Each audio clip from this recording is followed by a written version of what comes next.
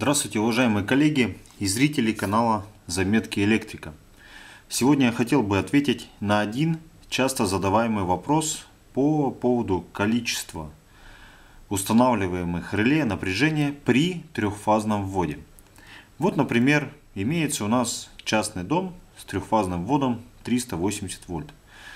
Заказчик, как грамотный человек, естественно, что решает защитить свои приборы и потребители от различных отклонений напряжения в случае неисправности, аварий и тому подобное. Но если при однофазном вводе 220 вольт все понятно и очевидно, это приобретается однофазное реле напряжения по соответствующему номинальному току, номинальным параметрам кстати, о том, какое реле выбрать, с каким функционалом и какого производителя, я неоднократно рассказывал вам в прошлых своих видео с подробными испытаниями их заявленных характеристик.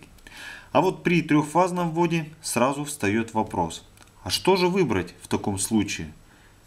Три однофазных реле напряжения или же одно трехфазное? Давайте разбираться. Итак, вариант первый.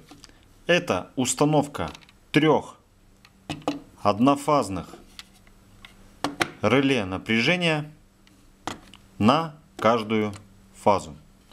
Какие здесь имеются преимущества? Ну, например, при обрыве, повышении или снижении напряжения на одной фазе питающей линии, а такое бывает и не совсем и редко, особенно в ветхих сетях, у вас сработает реле и отключит только тех потребителей, которые, соответственно, были к этой фазе и подключены. Другие потребители останутся в работе, и это вполне правильно и логично. К тому же восстановление пропавшей фазы может осуществляться достаточно длительное время, и не хотелось бы проводить все это время без напряжения. Но что делать, когда у вас в доме имеются в наличии трехфазные потребители? Ведь если мы отключим одну фазу, например, у того же трехфазного электродвигателя, ну, например, нашего наждака или двигателя бетономешалки, имеется в виду трехфазного двигателя, что будет? Если они были изначально отключены, то просто-напросто они не включатся, не запустятся. Но это особо и не страшно. Другое дело, если бы двигатель находился в работе. И при этом пропала одна фаза. Тут есть большой риск выхода двигателя из строя, а нам это совершенно не к чему.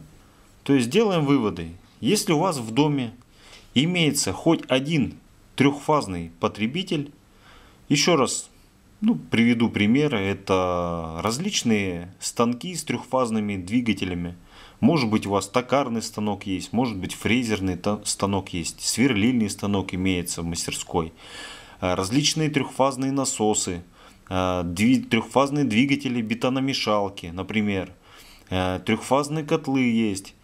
И даже имеются трехфазные плиты, но хотя последние могут функционировать независимо от наличия отдельных фаз. Плиты можно, трехфазные плиты можно внести скорее в исключение. И тому подобные трехфазные потребители, то вам правильнее будет применять второй вариант. Вариант 2. Это установка на вводе одного трехфазного реле. Здесь сразу поясню, что сейчас не стоит беспокоиться о том, что при установке трехфазного реле дополнительно придется приобретать контактор.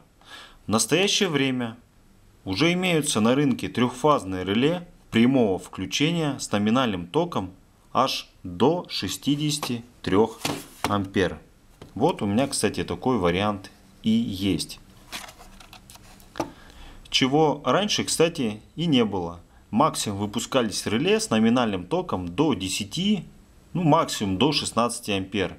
И практически всегда приходилось дополнительно устанавливать контакторы. Ну вот у нас даже, например, тот же, тоже реле контроля фаз EL11, EL12, оно имеет у нас номинальный ток 8 ампер.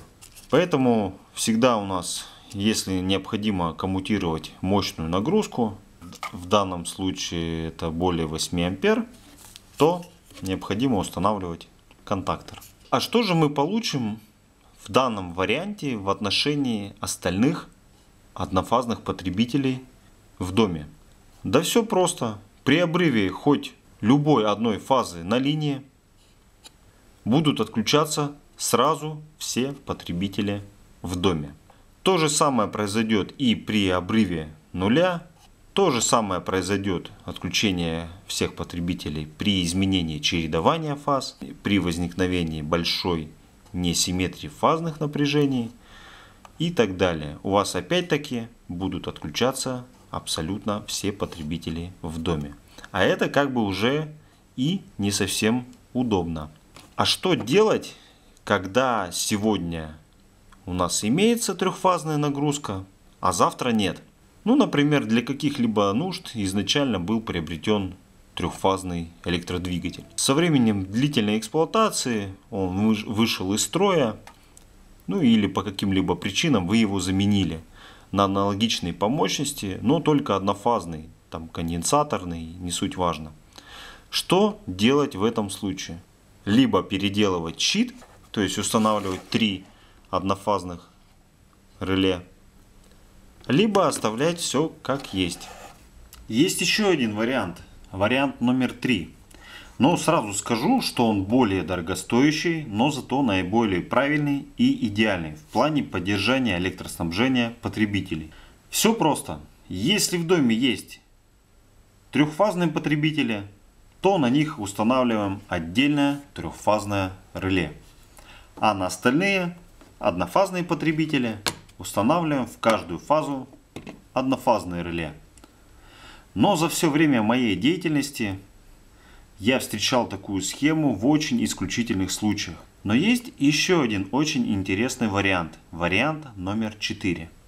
Это не ломать голову, а приобрести реле напряжения SR723 или аналогичное ему по функционалу устройство, которое можно настроить как вам удобнее.